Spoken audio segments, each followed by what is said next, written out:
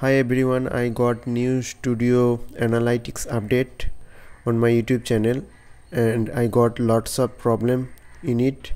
So in this video i will show you what problem i faced.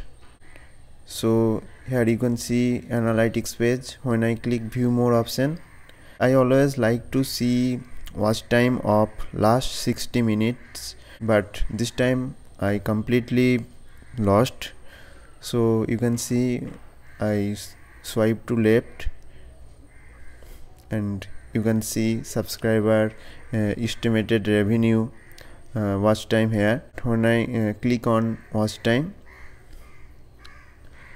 and you can see watch time is showing here and click on the drop down menu and last 60 minute watch time missing. Uh, but I like to see that I have another YouTube channel. There is nothing changes there. It's same like before. But in this YouTube channel I face this problem. Not only that I have faced lots of problem in it. And your estimated revenue also not showing correctly here. You can see uh, when I click it. And after that when uh, you click drop down button and I set September but here you can see your estimated revenue is zero. It's completely wrong. I don't understand what happened on new YouTube studio. And I already sent feedback to YouTube studio team and hope this will fix soon.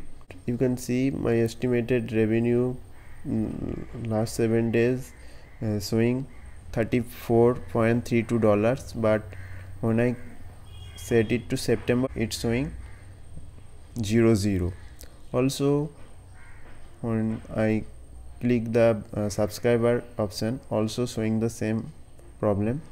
Uh, you can see uh, my subscriber from last 28 days when I click um, this drop down and set it to uh, September it's showing 0 0 again.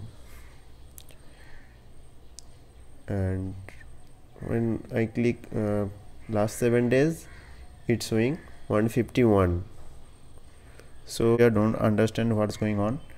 Uh, so I will show you now my another YouTube channel. My another YouTube channel so I switch it. Uh, my another YouTube channel and here you can see it's same as before. There is nothing changes here.